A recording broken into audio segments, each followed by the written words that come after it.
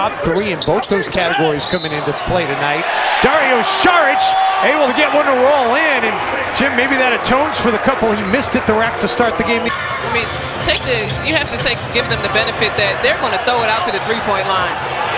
And That's what Houston does. Harden bounce pass inside. Green can't complete. Derrick Rose against three Rockets defenders been able to fill this role the way that he has. What a feed, Bayless to Luol Deng. It's inside and gets it to drop. Took some contact again. No whistle for Minnesota. I, I like the way that he just powered through it. That patty cake, that's patty cake right there. Second block tonight for Towns.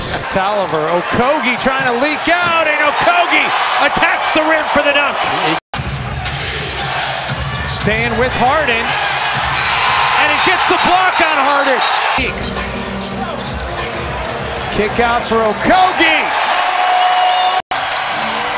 Came up with 42 here tonight, but it wasn't enough as the Timberwolves put on a clinic again in the second half against the Houston Rockets. They take care of the basketball.